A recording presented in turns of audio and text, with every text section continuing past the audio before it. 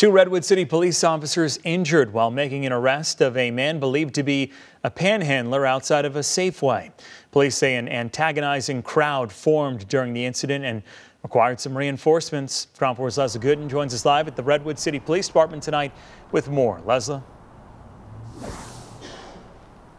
Yeah, the department says that they got a call for service on Friday around 8:30 p.m. at the Sequoia Shopping Center. And when they got there, they came across 31-year-old Aaron Martinez. And before they were able to speak with him, he went inside the Safeway, and that was just the beginning. Take a look at this video from the Citizen app from that night.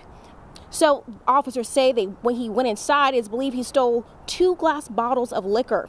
And when he came back out, he was questioned by officers. Martinez then hit one of them in the face with a bottle.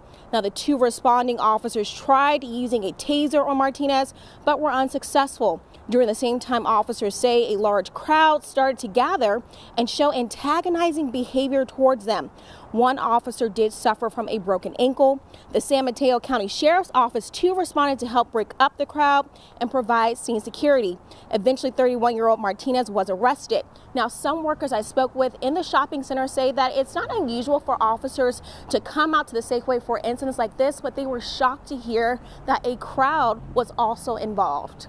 Live Redwood City, Lezla Gooden, 4 News.